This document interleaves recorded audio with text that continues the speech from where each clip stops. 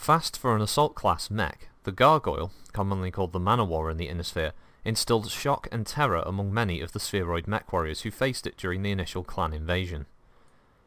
Because the majority of the pod space lay in the arms, switching out weapon layouts required little time between missions, leading many Inner Sphere commanders to believe that the invader clans had more of these mechs than they actually possessed. The mech's superb mobility was also its greatest weakness, however, as the more veteran pilots of the Inner Sphere would target the mech's arms. By amputating the Manowar's firepower, the machine could be ignored and bypassed, leaving a frustrated and irate clan warrior on the battlefield. Designed by Clan Wolf alongside the Mad Cat as a successor to the aging Woodsman, the Man-O-War is still considered one of the more deadly assault class battle battlemechs fielded by the invader clans.